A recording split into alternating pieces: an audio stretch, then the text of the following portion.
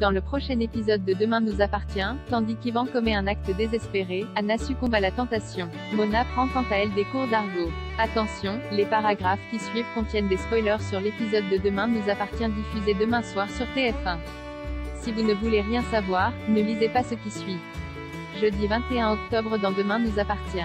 Ivan commet un acte désespéré caché dans le van de son grand-père. Noah attend qu'il soit à l'arrêt pour le confronter. Lorsqu'il cherche à comprendre ce qu'il trame, Ivan lui demande de le laisser tranquille puis le somme de rentrer. Mais rien n'y fait, Noah veut savoir s'il a quelque chose à voir avec la disparition de Judith. En colère, Ivan hurle qu'il ne voulait pas en arriver là et que tout ceci n'est pas de sa faute. Comme Noah insiste pour savoir où se trouve celle qu'il aime, Ivan le pousse violemment. Noah se cogne alors la tête contre le van et s'effondre au sol inconscient. Paniqué, Ivan le place en position latérale de sécurité avant de prendre la fuite. Après avoir repris connaissance, Noah n'a malheureusement aucun moyen de rentrer ni de contacter la police. À quelques kilomètres, Judith est terrorisée à l'idée de mourir et Roxane décide donc de parler à Ivan pour essayer de le raisonner. Considérant qu'elle n'est qu'un obstacle à ses yeux, Judith ne croit pas une seconde que cela puisse marcher et s'effondre en larmes. Tandis qu'elle ne cesse de répéter qu'elle ne veut pas mourir, Roxane promet qu'elles vont s'en sortir. Au commissariat, Georges est parvenu à retrouver la camionnette noire qui a appartenu à Ivan. Après avoir signalé le véhicule à toutes les patrouilles de la ville, Martin et Sarah se rendent au Majos mais découvrent malheureusement les lieux vides. En fouillant, ils tombent la photo de mariage d'Ivan avec une certaine Anastasia.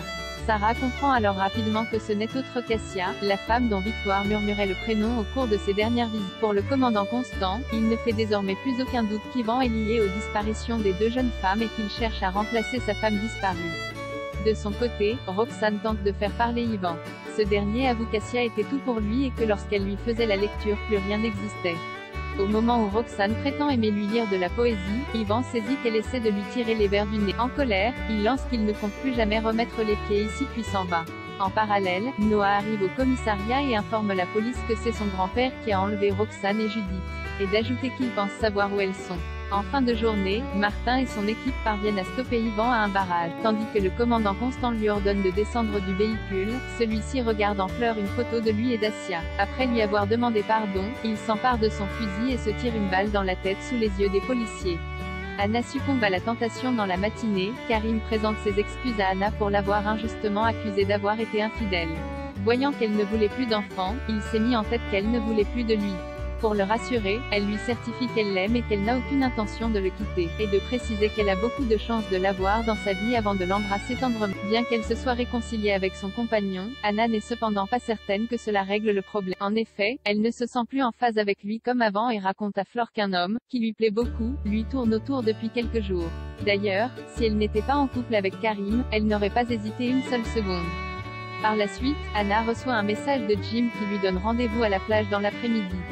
Quand Flore lui demande s'il vaut la peine de mettre son couple en danger, elle reconnaît finalement qu'elle ne peut pas mettre son histoire d'amour en péril pour le premier homme qu'elle rencontre. Malgré ses bonnes intentions, la nouvelle psychologue de l'hôpital Saint-Clair retrouve Jim à la plage et ils s'amusent à se tourner autour tout en se prenant en photo mutuellement. Très complices, Jim et Anna finissent par s'embrasser avec passion. Mona prend des cours d'argot au lycée, Mona veut se mêler à une conversation entre Dorian et Nathan. Complètement dépassée par le langage argotique des jeunes d'aujourd'hui, la mère de Georges sollicite l'aide de Mathilde et Lizzie qui consentent à lui donner un cours sur les expressions actuelles. En bonne élève, Mona s'empare de son calepin pour prendre des notes.